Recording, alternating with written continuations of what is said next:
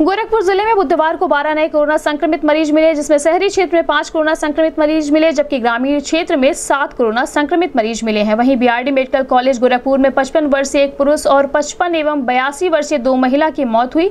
इसके बाद से ज़िले में संक्रमितों की संख्या उनसठ हो गई है।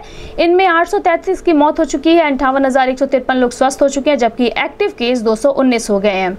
इस संबंध में सीएम डॉक्टर सुधाकर पांडे ने लोगों से विशेष सावधानियों को बरतने की अपील भी की है।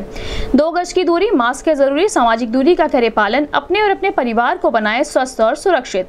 सीएमओ डॉक्टर सुधाकर प्रसाद पांडे ने बताया कि इस बीमारी से बचने के लिए विशेष सतर्कता बरतनी होगी और लोगों को भीड़ भाड़ से बचते हुए मास्क का इस्तेमाल करना होगा। जब तक कि कोरोना की वैक्सीन सभी को लग नहीं जाती, तब तक मास्क ही सबसे बड़ा हथियार है।